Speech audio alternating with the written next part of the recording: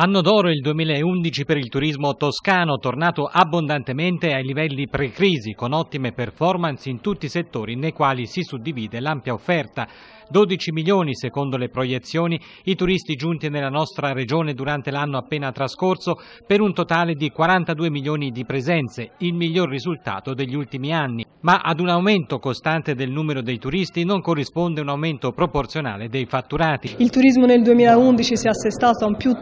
3,3%, un dato che conferma la leadership nazionale appunto della Toscana rispetto alle presenze turistiche. Bisogna lavorare per rilanciare in maniera importante non solo il segmento del turismo che è già estremamente, estremamente valido ma anche il segmento economico. All'andamento positivo del settore turistico della Toscana contribuiscono in misura sempre maggiore i mercati emergenti, soprattutto quelli dei paesi dell'area BRIC, Brasile, India e Cina, verso i quali si concentrerà in particolare l'attività di Toscana Promozione, l'azienda di promozione turistica della regione che per il 2012 investirà 3 milioni di euro per un totale di 65 iniziative. È molto positivo il fatto che questi, questo trend si sia esteso a tutti i prodotti, quindi eh, la montagna estiva, eh, il turismo ambientale, anch'esso più 6% rispetto al, al 2010, eh, il termale che ha interrotto un trend negativo e ritorna a crescere con un eh, segno positivo importante, 3,5%, e poi il balneare e eh, l'agriturismo, due